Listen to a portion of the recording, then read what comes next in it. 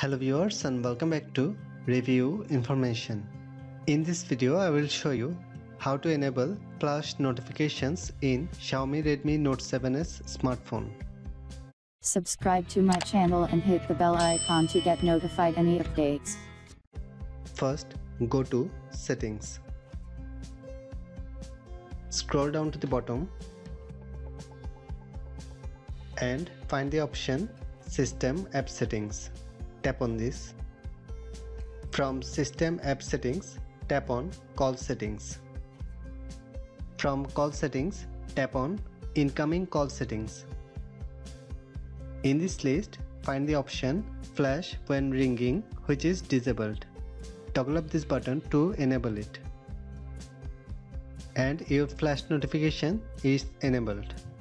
From now on, it will flash to notify about your incoming calls. If you want to disable this, toggle up this button. In this way, you can enable flash notifications in Xiaomi Redmi Note 7s smartphone. Thanks for watching. Hope you guys enjoyed my video. Please subscribe my channel for more videos. Goodbye.